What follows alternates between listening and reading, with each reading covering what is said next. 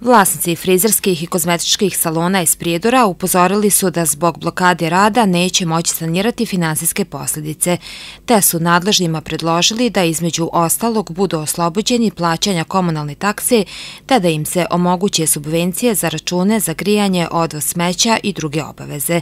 Također apeluju i da se stane u kraj radu na crno, jer će, kako navode, zbog nelojalne konkurencije biti primorani da stave ključ u bravu.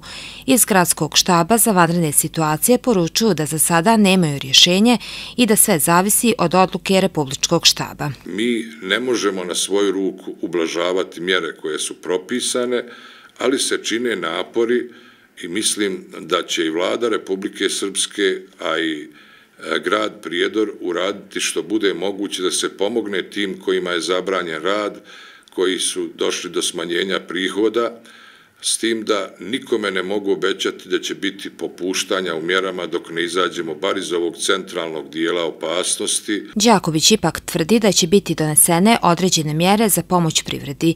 Njegov prijedlog je da se određeni infrastrukturni projekti prolongiraju, te da se taj novac usmjeri za pomoć ovom sektoru.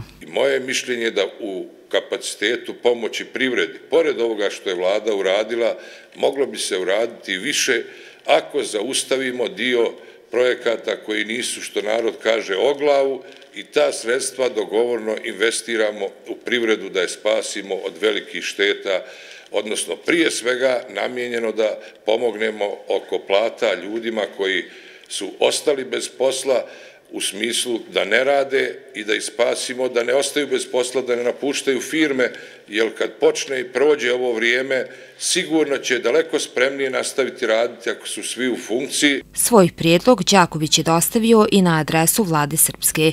Očekuje da će najići na razumijevanje nadležnih.